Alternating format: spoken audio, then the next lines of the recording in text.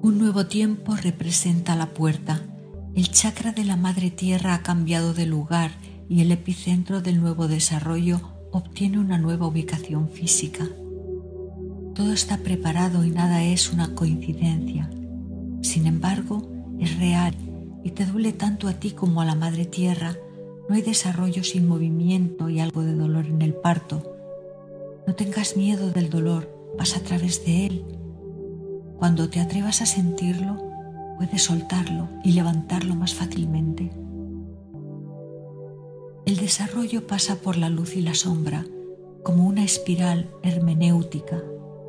No es posible elegir solo sentimientos de luz, pero la sombra también requiere un seguimiento en el sentido ascendente. Todo está al final. Lo que antes era una verdad ya no es y la mayoría de ustedes están confundidos. Lo positivo es que en esta confusión la verdad del corazón permanece y se aclara.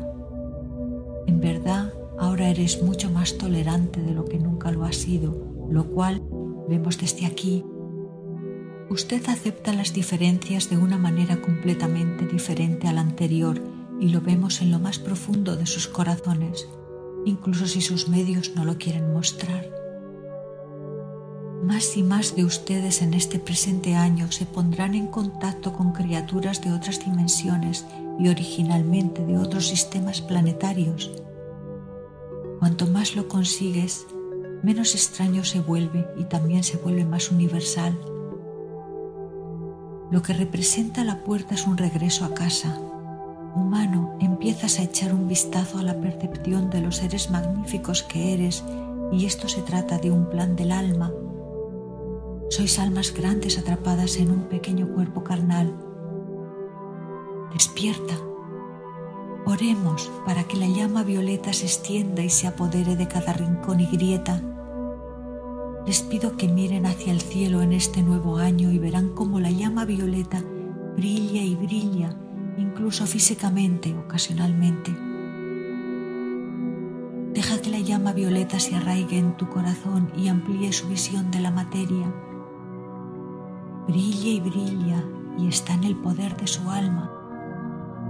Las pequeñas fracturas e irregularidades se vuelven poco interesantes y caen al suelo. Poco a poco llega a la claridad de que puede ser quien es y deja que otros estén allí tal como están, sin que alguien tenga que ser el mejor o el peor o el mejor clasificado.